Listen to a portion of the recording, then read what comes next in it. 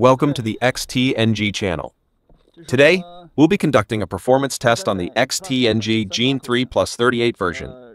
As always, all testing will be carried out on this 2017 Yamaha YZ250XC with the exact same setup as when we tested the Gen 3 Plus 36 version. For this test, we'll be focusing on low RPM torque performance on a 30-sloped trail. We'll test using both 1S and 2 n gears to see how low the RPMs can drop while maintaining power. This is a critical factor for torque performance when riding through wooded trails.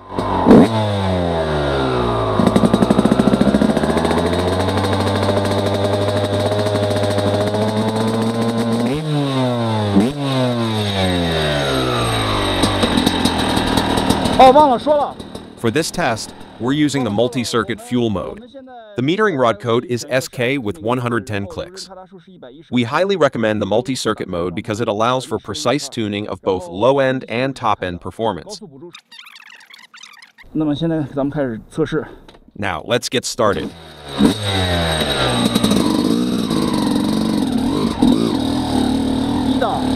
One D, no clutch throughout the test. The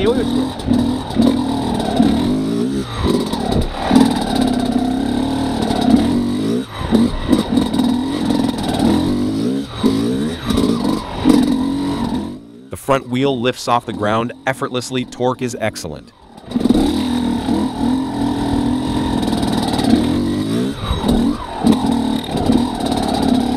Let's keep an eye on the tachometer.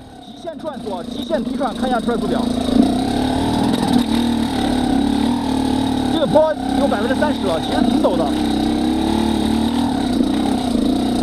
两千一。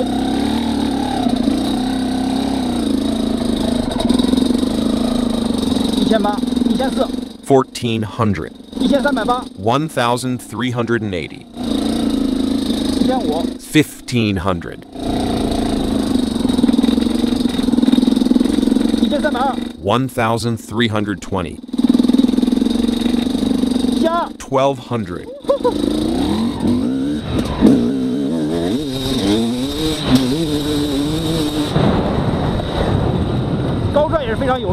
The top end power is also extremely strong.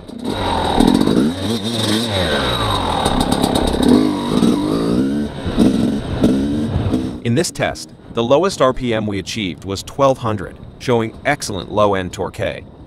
That said, Compared to the Gen 3 Plus 36 version, the 36 version felt a bit more compact in terms of low-end performance in 1S gear. Here are the bike's specs.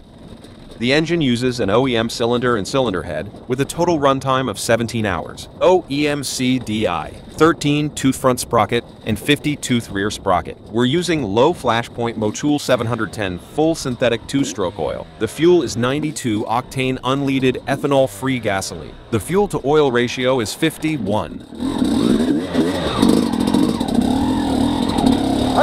Gear 1, no clutch needed throughout the test.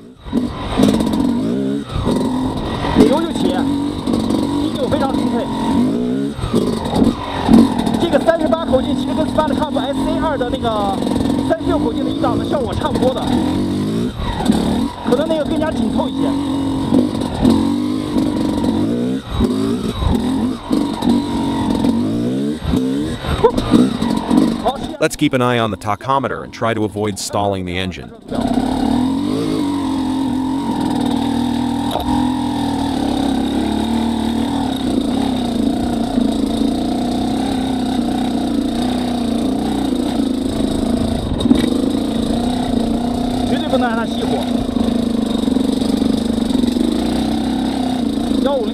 Fifteen hundred. hundred. 八零，幺五零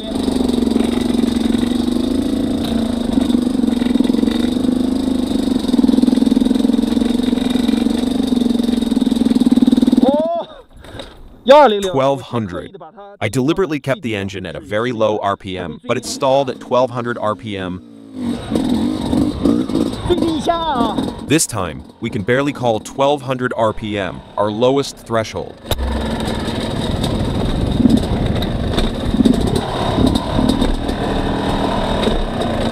Now, let's move on to the second gear test.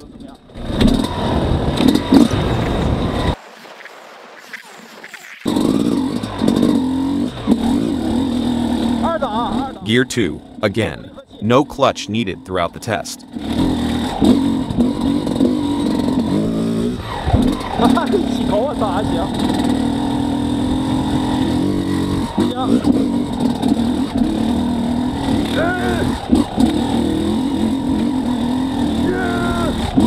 front wheel seems to have a hard time lifting off the ground.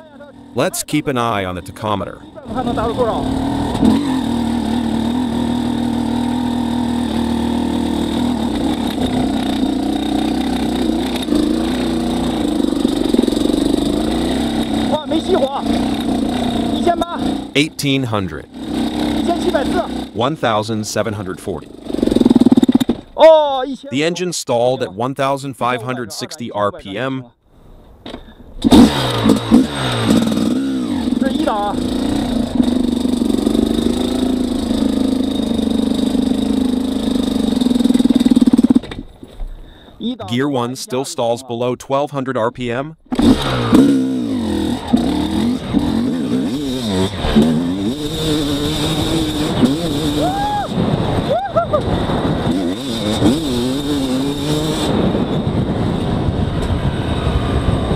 top-end performance is truly impressive, so powerful.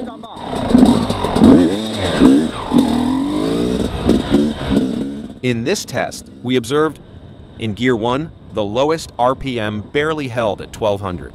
2 in Gear, the ERPM must stay at a minimum of 2040, otherwise the engine will stall. Overall, the torque performance is pretty solid.